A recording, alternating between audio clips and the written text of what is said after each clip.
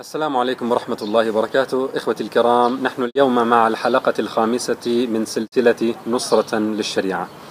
يحتج إخواننا المدافعون عن التدرج في تطبيق الشريعة بأن رسول الله صلى الله عليه وسلم قال لمعاذ بن جبل حين بعثه إلى اليمن إنك ستأتي قوما أهل الكتاب. فإذا جئتهم فادعهم إلى أن يشهدوا أن لا إله إلا الله وأن محمدا رسول الله. فإنهم أطاعوا لك بذلك فأخبرهم أن الله قد فرض عليهم خمس صلوات في كل يوم وليلة. فإنهم أطاعوا لك بذلك فأخبرهم أن الله قد فرض عليهم صدقة تؤخذ من أغنيائهم فترد على فقرائهم. فإنهم أطاعوا لك بذلك فإياك وكرائم أموالهم واتق دعوة المظلوم فإنه ليس بينه وبين الله حجاب. الحديث صحيح رواه البخاري. لكن إخواني أين الدلالة في هذا الحديث على التدرج المطروح في تطبيق الشريعة؟ هذا الحديث إنما يعلمنا مراعاة الأولويات في بيان الشريعة للناس فالشهادتان أصل الإسلام وأساسه فليس من الحكمة مخاطبة الناس بالصلاة وهم لم يقروا بالشهادتين. ثم الصلاة أهم الأركان وهكذا. لكن هل قال النبي لمعاذ لا تعلن سيادة الشريعة على أهل اليمن لأن فئات منهم سترفض هذا الإعلان؟ هل قال له إلى أن يتعلم أهل اليمن الصلاة ويؤدوا الزكاة أبقي, أبقي القوانين المخالفة للشريعة على ما هي عليه واحكم بينهم بما تعارفوا عليه من هذه القوانين؟ هل قال النبي لمعاذ إن لم يطيعوك ولم يصلوا فتدرج معهم وفق جدول زمني مرسوم وأكد لهم أنك لن تفرض عليهم الشريعة فرضا بل ستستشيرهم فيما يأذنون بتطبيقه من الشريعة. هل قال له أعطيك يا معاذ الصلاحية بتقدير الوقت المناسب لإلغاء القوانين المعمول بها في اليمن وإحلال قوانين الشريعة بدلا منها؟ هل قال له بما أن القرآن لم يحرم الخمر دفعة واحدة فأنت كذلك لا تمنعها عن أهل اليمن دفعة واحدة؟ هل قال النبي لمعاذ إذا وجدت فقرا وقلة أمن في اليمن فوفر الطعام للمحتاجين وفرص العمل للعاطلين عن العمل وأثبت جدارتك الاقتصادية قبل تطبيق الشريعة؟ هل قال له ركز في البداية على الجانب العقدي والأخلاقي؟ ولا تطبق الحدود لأن أهل اليمن قد يستثقلونها؟ فإن سرق سارق أو زنى زان فاحكم بينهم بأحكامهم التي تعارفوا عليها.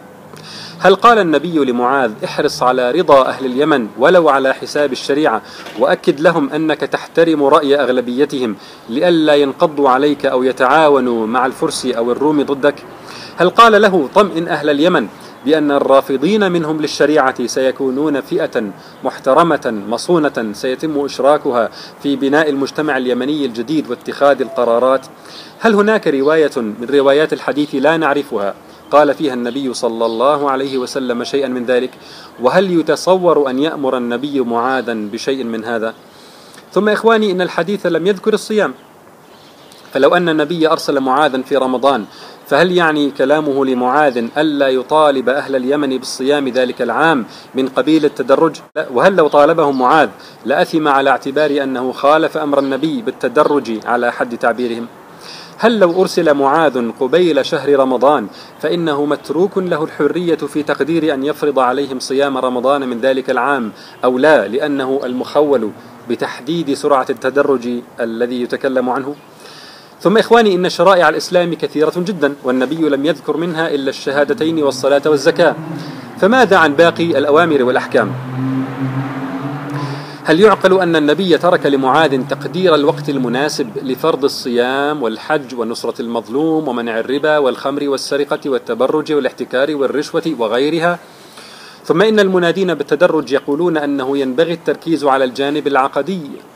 بداية قبل تطبيق الأحكام والجوانب التشريعية من الشريعة. والنبي لم يذكر من الجانب العقدي إلا الشهادتين. فلو كان ما ذكره النبي على سبيل الحصر فإنه يعني أنه كان على معاذ أن يأمر أهل اليمن بالصلاة والزكاة قبل الإيمان باليوم الآخر والكتب والملائكة والقدر. فهل يعقل هذا؟ ثم هل في الحديث ما يدل على أن أهل اليمن لو لم يجيبوا معاذا إلى الإقرار بالشهادتين فإن النبي صلى الله عليه وسلم كان سيقرهم على ذلك ويدعهم وشأنهم؟ إذا إخواني الحديث لا علاقة له بالتدرج المطروح والمسألة واضحة بشيء من التدبر. وردت أحاديث كثيرة يأمر فيها النبي أقواما أسلموا بأمور وينهاهم عن أمور ونلاحظ أنه نوع في أوامره ونواهيه. فمثلا عندما وفد عليه وفد عبد القيس أمرهم بأربع ونهاهم, ونهاهم عن أربع. أمرهم بالإيمان بالله وحده. قال أتدرون ما الإيمان بالله وحده؟ قالوا الله ورسوله أعلم. قال شهادة أن لا إله إلا الله وأن محمدا رسول الله وإقام الصلاة وإيتاء الزكاة وصيام رمضان وأن تعطوا من المغنم الخمس. ونهاهم عن أربع. عن الحنتم أو الحنتم والدباء والنقير والمزفت وهي أوعية كان النبيذ يصنع فيها. والحديث متفق عليه. فهنا ذكر النبي صلى الله عليه وسلم الصيام وإعطاء الخمس من المغنم ونهى عما يصنع فيه الخمر ولم يذكر هذه الأشياء في حديث معاذ. فهل هذا يدل على أنه تدرج بالتشريع أو بالتطبيق لوفد عبد القيس تدرجا مختلفا عما تدرجه مع أهل اليمن. المسألة لا علاقة لها بالتدرج. وهذه الأوامر والنواهي ليست على سبيل الحصر. ليست على سبيل الحصر. الحديث إنما يعلمنا أنك إذا أتيت أناسا يجهلون شرائع الإسلام فإنك ترتب الأولويات في عرض هذه الشرائع عليهم حتى لا تزدحم عليهم هذه الشرائع فلا يستطيعوا تعلمها والعمل بها. فالصلاة أمر آني فوري يحتاجه أهل اليمن الآن فلا بد لهم من تعلمه. بمجرد ما أسلموا يحتاجون الصلاة. أما الصيام فيمكن تأخير تعليمه وتعليم نواقضه إلى قبيل رمضان وكذلك الحج فإنه واجب على التراخي مرة في العمر. ومن قواعد الأصوليين أنه يجوز تأخير البيان إلى وقت الحاجة إليه. كذلك نفهم من الحديث مسألة مهمة جدا وهي أن أهل اليمن بمجرد أن يشهدوا أن لا إله إلا الله وأن محمدا رسول الله فإنهم قد أعلنوا العبودية المطلقة لله. أعلنوا العبودية المطلقة لله وأقروا وخضعوا لسيادة الشريعة. فلا يؤمرون بأمر إلا ويمتثلون له لأنه أمر الله الذي أقروا بوحدانيته. ولا تستجد قضية بعد ذلك إلا ويحكم فيها معاذ بحكم الله. الذي شهدوا بوحدانيته إلها وربا ومشرعا. فأين هذا من التدرج الذي ينادي به البعض؟ إنما هو ترتيب أولويات في البيان والتعليم لا تدرج في العبودية لله والخضوع لأحكامه. فمن لحظة إعلان العبودية والخضوع المطلق بالشهادتين فقد طبقت الشريعة.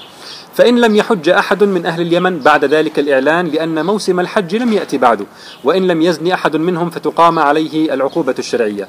فهل نقول أن الشريعة لم تطبق بشكل كامل بعد؟ طبعا ابدا بل هي مطبقة تطبيقا كاملا. أين هذا من المنادات بإبقاء القوانين الوضعية على ما هي عليه؟ والاحتكام إليها إلى حين أسلمتها من خلال العملية الديمقراطية.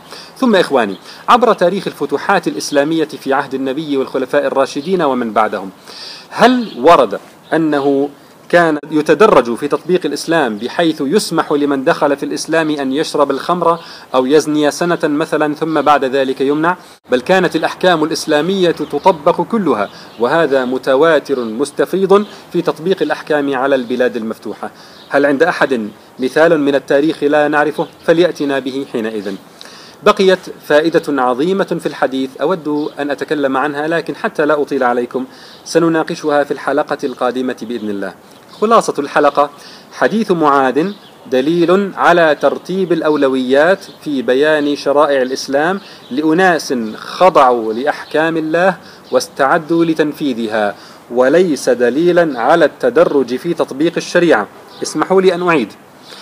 حديث معاذ دليل على ترتيب الأولويات في بيان شرائع الإسلام لأناس خضعوا لأحكام الله واستعدوا لتنفيذها وليس دليلا على التدرج في تطبيق الشريعة. وإلى لقاء في الحلقة القادمة بإذن الله والسلام عليكم ورحمة الله وبركاته.